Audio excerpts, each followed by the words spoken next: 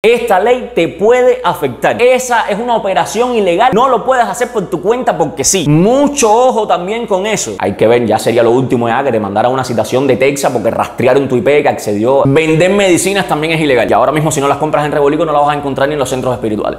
¡Qué vuelta, piquete! Bienvenidos una vez más al canal. Yo soy Niro y el día de hoy vamos a hablar de un tema bastante delicado. Si tú te dedicas al mundo de las criptomonedas y vives en Cuba, mucho ojo con este video porque ha salido una nueva resolución que tiene como objetivo, digamos de alguna manera, como que controlar el uso de las criptomonedas en Cuba. Esto te puede afectar y mucho. Así que quédate a ver el video hasta el final. Vamos con la intro.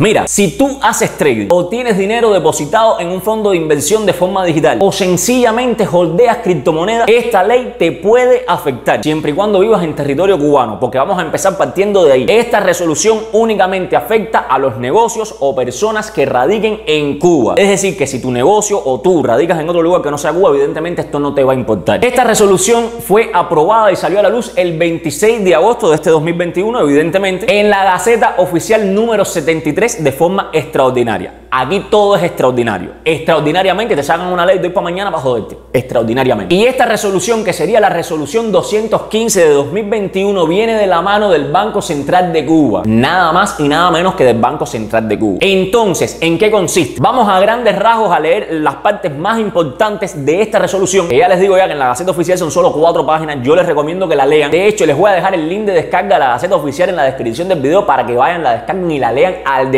Porque yo solo voy a mencionar las cosas más importantes de esta resolución, evidentemente, o al menos las que más nos puedan afectar a nosotros los cubanos a pie. Lo primero que dejan claro en esta resolución es que el gobierno cubano y el Banco Central de Cuba únicamente reconocen el peso cubano como moneda de curso legal en el país. Por tanto, la utilización de cualquier otro tipo de moneda, incluso siendo monedas virtuales del nombre que le quieras llamar, criptomoneda, lo que tú quieras, no son permitidas de forma oficial y legal en el país. Además, advierte a los usuarios que las utilizan que debido a su anonimato y toda la locura de que son descentralizadas y todo lo demás, el gobierno nos hace responsable de cualquier tipo de estafa en la que puedas caer debido a estas criptomonedas, como es lógico, en el mundo entero es así. Pero bueno, vamos a lo más importante, vamos a la parte de la resolución que probablemente más nos afecta a todos nosotros. Dice la cuarta disposición, las instituciones financieras y demás personas jurídicas solo pueden usar activos virtuales entre ellas y con personas naturales para realizar operaciones monetario-mercantiles y de canje y recanje, así como para satisfacer obligaciones pecuniarias cuando así lo autorice el Banco Central de Cuba de conformidad con lo dispuesto en el apartado anterior de esta resolución. ¿Qué quiere decir? Que absolutamente cualquier negocio, ojo al dato, negocio o actividad que implique la utilización de criptomonedas se puede realizar única y exclusivamente si estás autorizado por el Banco Central de Cuba. Y el otro detalle importante puesto en la resolución está casi al final. La octava resolución dice así, las personas naturales asumen los riesgos y responsabilidades que en el orden civil y penal se derivan por operar con activos virtuales y proveedores de servicios de activos virtuales que funcionan al margen del sistema bancario y financiero, aun cuando no están prohibidas las transacciones con activos virtuales entre dichas personas. ¿Qué quiere decir esto? Vamos a hacer un resumen rápido más o menos de lo que nos están hablando en esta resolución. Lo que nos están diciendo a grandes rasgos es lo siguiente. Si tú utilizas las criptomonedas para alguna forma de negocio, tienes que tener un permiso del Banco Central de Cuba. No lo puedes hacer por tu cuenta porque sí. Ojo al dato. Si tú tienes un negocio en Cuba que utiliza las criptomonedas como forma de pago, necesitas un permiso del Banco Central de Cuba. Pero no solo eso. Si tú realizas operaciones de canje o recanje de criptomonedas, también necesitas un permiso. Mira, vamos a traducirlo al cubano. Si tú eres de este tipo de persona que está constantemente poniendo anuncios en Facebook en los grupos de trading de estoy vendiendo USDT a tanto, esa es una operación ilegal ahora mismo debido a esta resolución. Para poder vender cualquier tipo de criptoactivo necesitas un permiso del Banco Central de Cuba.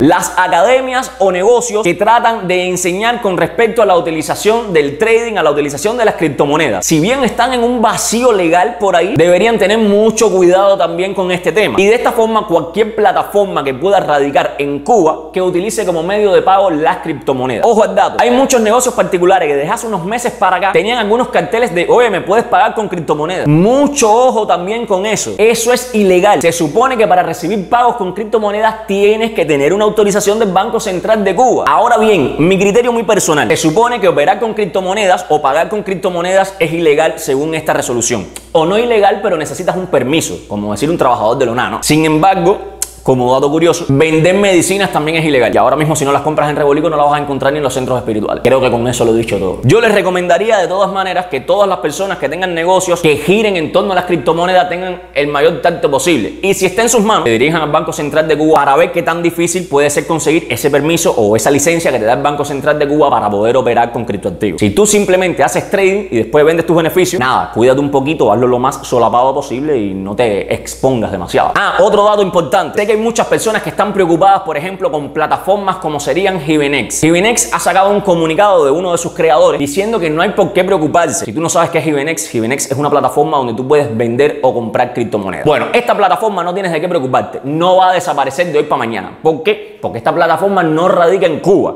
De hecho, me parece que radica en Chile. Por tanto, esta ley no le afecta. Ahora, tú como cubano, entrar a esa plataforma para comprar, sí te puede afectar. Pero bueno, hay que ver, ya sería lo último ya que te mandara una citación de Texas porque rastrearon tu IP que accedió, eso estaría ya en plan la NASA, la CIA, el FBI. No creo que lleguen a ese extremo, la verdad. Así que tranquilos que Givenex sigue viento en popa. Ahora, CubaPay no sabría decirles. Depende de dónde esté ubicado el servidor de CubaPay que brinda los servicios. Si está aquí en Cuba, puede que haya problemas con eso en el futuro. Ya veremos. Ojalá Eri dé una respuesta a eso en algún momento. Vamos a ver. Eso ha sido todo por el video de hoy. Si te ha resultado de utilidad, no dudes en, por supuesto, darle un like y compartirlo con cualquier persona que creas que le pueda resultar interesante. Oye, suscríbete al canal de Tu Piquete. Ahí abajo hay un botón que dice suscribirse, le das clic y activas la campanita, la primera, la que dice todas, para que te lleguen todas las notificaciones de futuros videos. Estoy empapado en sudor. No olvides seguirnos en todas nuestras redes sociales que están apareciendo ahora mismo en pantalla. Ahí estamos constantemente subiendo contenido relacionado con los videos que vamos sacando. Y por supuesto, no dudes seguirme a mí también en mi canal de YouTube personal. Lo voy a estar dejando en pantalla, donde estamos casi siempre hablando del tema de las criptomonedas en el mundo entero, bueno, en Cuba y el trading y todo lo relacionado con eso. Eso es todo por hoy. Nos vemos muy pronto con un nuevo video. Recuerda que nosotros somos tu piquete, esta vez regulados con los criptoactivos.